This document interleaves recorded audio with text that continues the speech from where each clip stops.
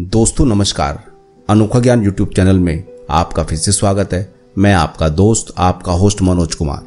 दोस्तों, अभी तक आपने ज़िंदगी में कई सारे लोग ऐसे देखे होंगे जिन्हें देखकर आप यही कहते होंगे कि इनसे उलझना सही नहीं है। इसके पीछे केवल दो ही कारण हो सकते हैं। या तो वे बहुत ही अमीर है, या उनका शरीर बेहद ही विशाल का है। दोस्तों, आज मैं आपको कुछ ऐसे लोगों के बारे में बताने जा रहा हूँ जिनसे लड़ना सच में बेकूफी ही है। क्योंकि यह आपको केवल कुछ ही मिनटों में हरा सकते हैं। इससे पहले, दोस्तों, यदि आपने अभी तक हमारे चैनल को सब्सक्राइब नहीं किया तो प्लीज़ सब्सक्राइब ज़रूर कर लें और बेल के बटन को प्रेस करना ना भूलें, ताकि आपको हमारी वीडियो की नोटिफिकेशन समय समय पर मिलती रहे। तो चलिए, दोस्तों, शुरू करते हैं। दोस्तों, बात करते हैं नंबर एक, गीगा उगरू की। गीगा उगरू खुद को निंजा कहते हैं, क्योंकि चार साल की उम्र से ही यह टाइकोंडो सीख रहे हैं। इन्होंने अभी तक टाइकोंडो से ब्रेक नहीं लिया और अभी भी यह टाइकोंडो की प्रैक्टिस कर रहे हैं। लंबे समय तक ताइकोंडो सीखने के बाद 10 साल की उम्र से गीगा ने थाई बॉक्सिंग सीखना शुरू कर दिया। उन्होंने ताइकोंडो और थाई बॉक्सिंग के अलावा एक्रोबेटिक की ट्रेनिंग लेना भी शुरू कर दी, जिसकी वजह से फाइटिंग में बेहद ही ज़बरदस्त हो गए और गीगा की फाइटिंग स्टाइल देखकर सबके होश उड़ जाते हैं। इतनी ट्रेनिंग और मेहनत से गीगा का शरीर किसी चट्टान की तरह मज़बूत हो चुका है, जैसा कि आप वीडियो में देख रहे हैं। दोस्तों, बात करते हैं नंबर दो सियान मिंग की। सियान मिंग को पाँच साल की उम्र से ही उनके पेरेंट्स ने साउलिन टेंपल में शिक्षा प्राप्त करने के लिए भेज दिया था, जहाँ उन्होंने मार्शल आर्ट और कई ईस्टर्न सीक्रेट सीखे। उन्नीस सौ बानवे में सी ने कई नेशनल मार्शल आर्ट कम्पिटिशन भी जीते, जिसके बाद इन्हें अमेरिकन कुंफू एसोसिएशन ने अमेरिका में आने के लिए इनवाइट किया। दोस्तों, एक बार चीन छोड़ने के बाद सी कभी चाइना वापस नहीं जाना चाहते थे जिस वजह से उन्होंने न्यूयॉर्क जाने का फैसला लिया और वहाँ अपनी शाओलिन शिक्षा को बांटने लगे और ऐसा करने से उन्हें सफलता भी मिली।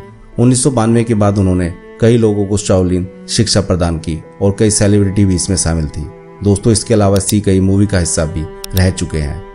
दोस्तों, बात करते हैं नंबर तीन, मीना राघवन की। भारत की सबसे पुरानी मार्शल आर्ट है कलारी पायटू ये 1300 से 23 साल पुरानी कला है। शुरुआती दिनों में ये कला मंदिरों में सिखाई जाती थी, जिसमें तलवार, ढाल कुल्हाड़ी को चलाना सिखाया जाता था। दोस्तों, ये एक सीरियस और यूनिक मार्शल आर्ट कला है।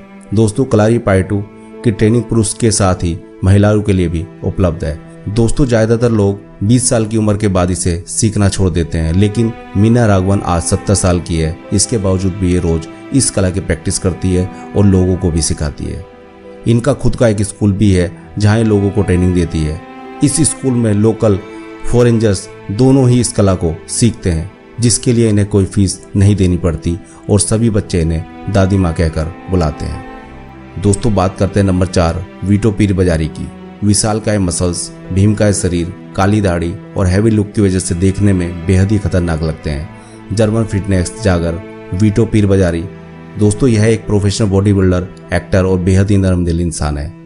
लेकिन इन्हें देखकर ऐसा नहीं लगता कि ये अपने डेली वर्कआउट रूटीन से अपने फैंस को इंस्पायर करते हैं। दोस्तों, वीटो को इंस्टाग्राम पर एक लाख से ज़्यादा लोग फॉलो कर रहे हैं। दोस्तों, बात करते हैं नंबर पाँच, मिंडी कैली की।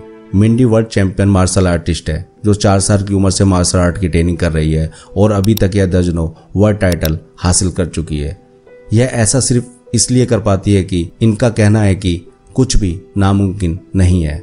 और यही इनकी सक्सेस का राज भी है। शुरुआती दिनों से ही मिंडी एक्शन मूवीज़ का हिस्सा बनना चाहती थी और ऐसा करने के लिए ब्रूसली की मूवीज़ ने इन्हें इंस्पायर किया और 2005 में यह बॉलीवुड का हिस्सा बनी और अभी तक ये कई मूवीज़ और म्यूज़िक वीडियो में स्टंट कर चुकी है और दोस्तों साथ ही किसी हॉलीवुड में लीड रोल करने के लिए मेहनत भी कर रही है।